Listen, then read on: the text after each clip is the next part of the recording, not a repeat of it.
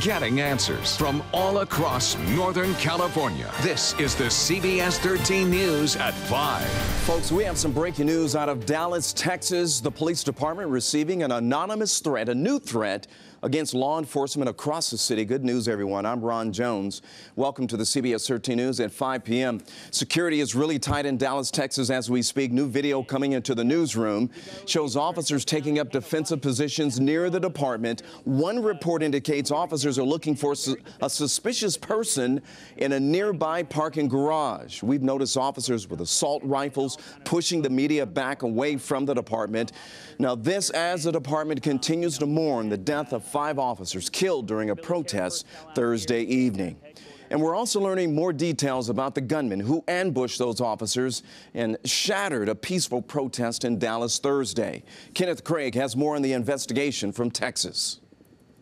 A police motorcade escorted the body of transit officer Brent Thompson to a funeral home south of Dallas Saturday. Along the way, people held American flags and saluted the fallen officer.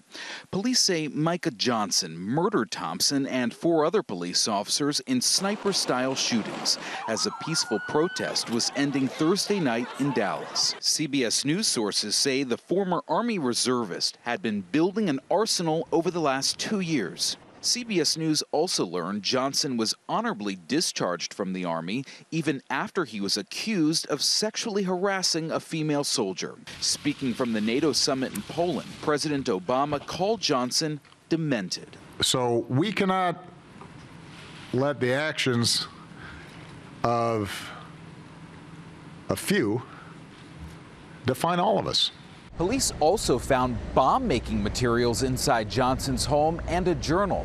They say he may have been planning the attack here for a while. He was trained to fight in our military for us, and he used it against us. He was an American terrorist, is what he was. Cheryl Hurd came to police headquarters to express her gratitude. She was among a group who joined together in grief as they said a prayer for the officers who survived and the five who made the ultimate sacrifice. Now, Johnson was killed by uh, police during that standoff. So let's bring you up to date to that breaking news out of Dallas, Texas, right now, here, folks. Uh, the police department has received a new anonymous threat against law enforcement. This is across the city. The latest video coming into our newsroom shows the officers taking up defensive positions near the department. And we're also learning that they're looking for a suspicious person in a nearby garage. As soon as we get more information, of course, we will bring it to you. We're also learning the names of the officers killed during last Thursday's sniper fire. There include 43-year-old Officer Brent Thompson. He had just gotten married. 32-year-old Officer Patrick Zamarripa. He leaves behind a wife and a two-year-old daughter. 55-year-old Michael Smith leaves behind a wife and two daughters, ages 10 and 12. And 40-year-old Michael Krol and Senior Corporal Lorne Ahrens who started out as an officer with the Los Angeles Police Department. Now, family members tell us Ahrens grew up in the San Fernando Valley. He worked for the Los Angeles County Sheriff's Department for 10 years before moving to Dallas in 2002. His family got the call in the middle of the night that Ahrens didn't make it after surgery. His father spoke with us via Skype, saying he was passionate about his job, but he truly loved his family. The pinnacle of his life was his children, but that same guy would have tea with his daughter. Now, Ahrens, a 14-year veteran with the Dallas Police Department, leaves behind a wife and two kids. Memorials for the victims continue to grow across the country, but there is still no word on when and where those services will be held. And developing here in Northern California, the Black Lives Matter movement taking to the streets of San Francisco this evening an Interstate 80 on-ramp is back open after protesters shut it down. This all taking place not too far from the Bay Bridge. So far, no word on arrest or injuries. Meanwhile, hundreds of people gathering in Baton Rouge at a convenience store for another day of protests. This is the site where Alton Sterling died at the hands of two white police officers. Some wore T-shirts that read, I can't keep calm, I have a black son, or Black Lives Matter.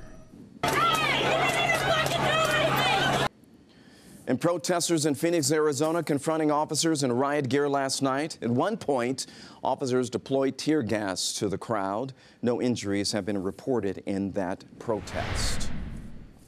All right, new at 5 o'clock, a councilwoman in Nevada City now apologizing for comments she made saying America's police officers are the blame for the Dallas shootings. Reinette Senum posted the controversial comments on her Facebook page. She wrote, quote, they have obviously been given directives to go out there and kill. But she now says, I would like to extend an apology first and foremost to the Nevada City Police Department, whom I have the utmost respect for. In no way did I mean to offend our highly regarded officers with my comments on Facebook.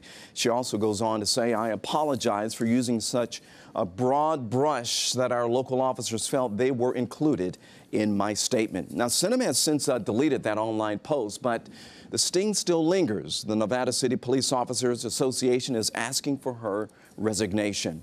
Well, for the very latest on the Dallas shootings and the recent threat made to the department, just visit our website.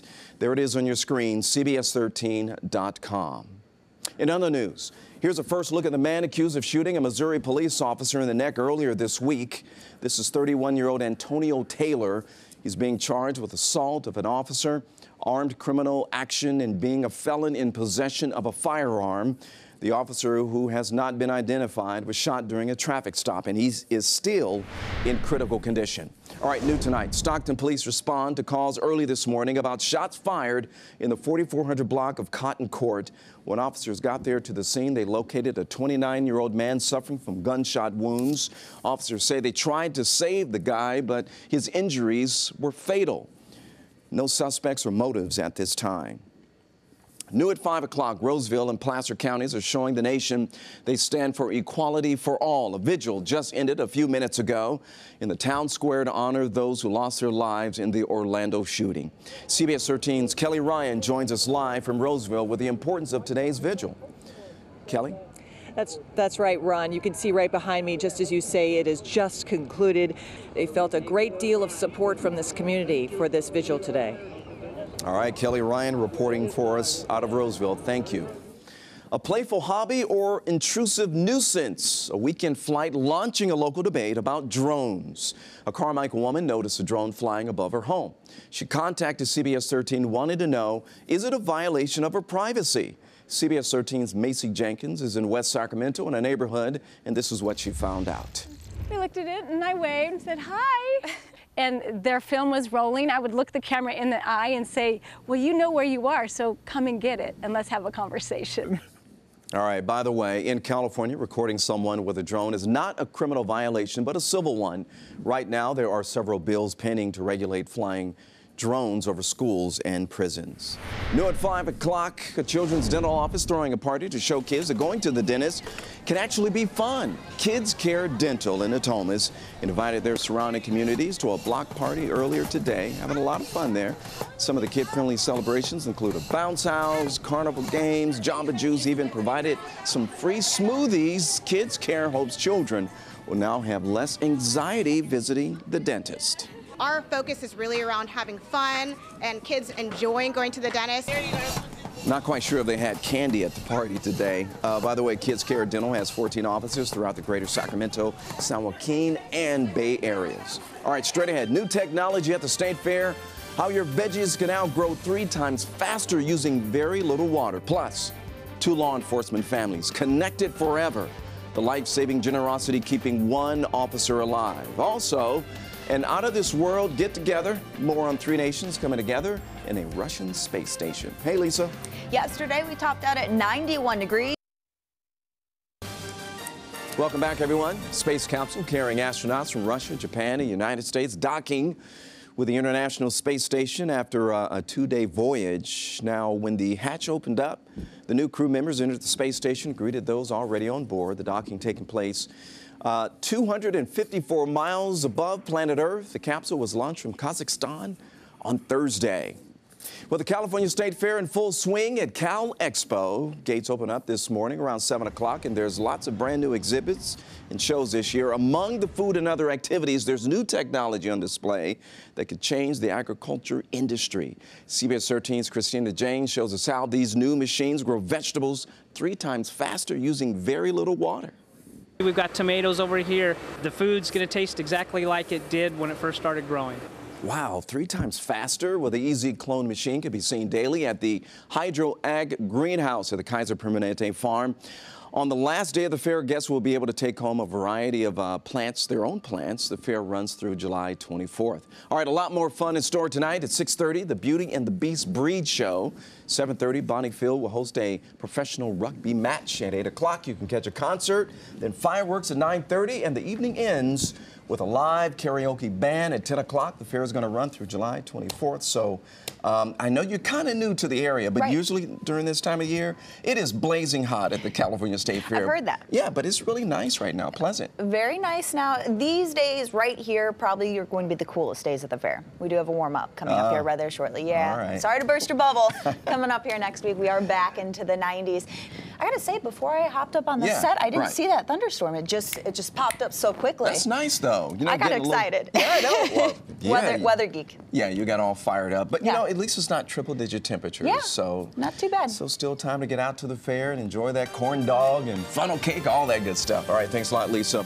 Straight ahead, two local law enforcement families connected forever. The life-saving generosity keeping one officer alive. Plus, Serena Williams in the record books once again what she did on the court that hasn't been done in decades.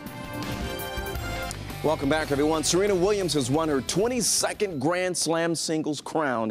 Here's a look at that final serve. Wow,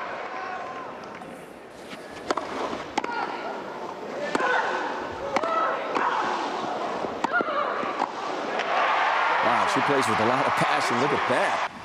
Williams beat Angelique Kerber uh, in the Wimbledon final. She, ties, she tied Steffi Graf's record for the most major championships in the Open era.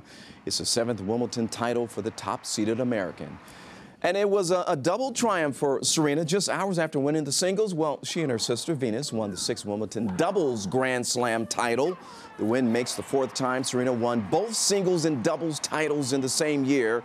The sisters are now 14 and 0 in Grand Slam finals. I always knew that I was going to be a kidney donor. I just never know, never knew who it was going to be. Two law enforcement families connected forever after an act of life-saving generosity. Folsom Police Sergeant Eric Beatty donated a kidney to Sacramento Sheriff's Deputy Nathan Wise a couple of weeks ago. They're talking about his life-saving operation. CBS 13's Adrian Moore has the interesting twist that drove Eric to donate. He'll uh, always be my brother. And we should point out that Nathan is still very sore, but he says he's looking forward to getting back to the gym and teaching his two young kids, Maggie and Nate Jr., how to fish. Eric is sore as well, and he's going to take some time off from work.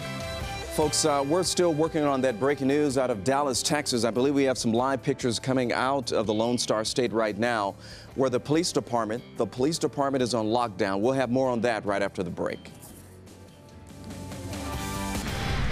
All right, we have some breaking news coming out of Dallas, Texas right now. These are live pictures. A report indicates officers are looking for a suspicious person in a nearby parking garage. Officers, they have assault rifles. They are pushing the media back. This as the department mourns the death of five officers killed during a protest Thursday evening. Of course, we're going to stay on top of this breaking news story for you. We're going to have it on the CBS 13 News uh, tonight and also on CBS13.com.